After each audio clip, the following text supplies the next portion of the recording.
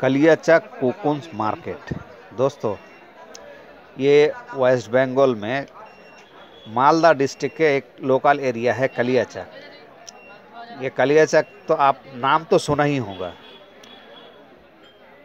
इस कलियाचक के प्रॉपर आपका स्टैंड से है आपका लगभग पैदल पाँच मिनट आपका, यानी पाँच मिनट भी नहीं, आपका तीन से चार मिनट लगेंगे ये कुकुंस मार्केट जाने के लिए. यहाँ आपका किस तरह से कुकुंस को बेचा जाता है? ये आपका जो मार्केट है, ये सरकारी मार्केट है। यहाँ पर आपका जो चासी होते हैं, वो लोग अब कुकुंस को लेके आते हैं और यहाँ पर आपका बेच के वो चले जाते हैं।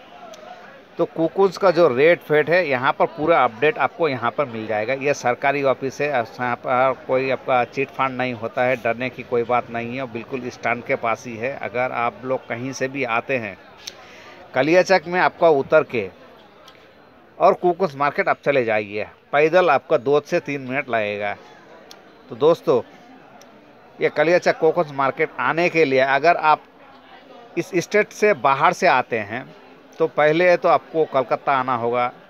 या फिर आपका जो सिलीगुड़ी लाइन से आते हैं तो आपका वो सिलीगुड़ी होके आपका मालदा आना होगा। और फिर वहाँ से कलिया चक आ जाइए, फिर हो जाएगा। और अगर बाहर से आपका कलकत्ता होके आते हैं तो कलकत्ता से आपका बस से अगर आना चाहते हैं तो धर्मतल्ला से आपको बस पकड़ना होगा। और अगर ट्रेन से आते हैं तो आपका कलकत्ता के जो बड़ा तीन स्टेशन है, यानी आपका हावड़ा स्टेशन, या फिर सियालदा स्टेशन, या फिर चितपुर स्टेशन, यानी कोलकाता स्टेशन, ये तीनों स्टेशन से आपका मालदा आने के लिए आपका ट्रेन अवेलेबल आपको मिल जाएगा।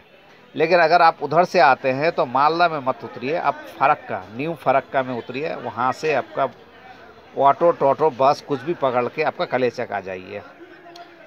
यहाँ से आपको रात के 12 बजे तक आपका टोटो, फ़ोटो सब कुछ मिल जाएगा। आप आराम से वहाँ से कलियाचक आके किसी भी स्टेशन में आपका, यानी किसी भी होटल पे आप रह रहिए और फिर वहाँ से सुबह में आ जाइए या फिर दिन के टाइम हो तो आप कोकुंस मार्केट आ सकते हैं।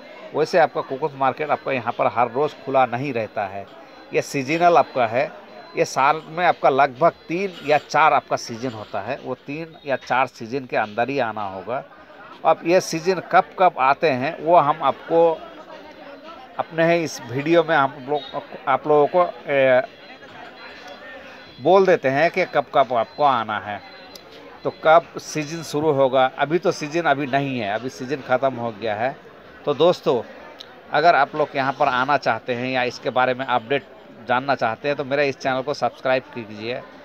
और इस चैनल को अगर दूसरे को भी किसी को पहुंचाना हो, कि वहाँ पर कुकुस मिलता है तो इसको आप शेयर करके उन तक पहुँचा सकते हैं, ताकि आपका वो भी जान सके कि कलियाचक में जो आपका कुकुस मार्केट है, ये कब खुला रहता है और वहाँ पर कुकुस कितना आता है। यानी यहाँ हद से ज़्यादा कुकुन्स आते हैं और यहीं से आपको बेचा जाता है। तो दोस्तों, अगर आप लोगों को कुकुन्स के बारे में डिटेल्स कुछ जाना, जानकारी चाहिए तो इस चैनल को सब्सक्राइब कीजिए। और अगर आप लोग कुकुन्स ख़रीदना चाहते हैं तो इस चैनल को सब्सक्राइब कीजिए क्योंकि हम अपने इस चैनल पे हर वो डिटेल छोटी बड़ी कहाँ कब मंडी लगता है, ये सब के बारे में हम देते रहते हैं। धन्यवाद दोस्तों।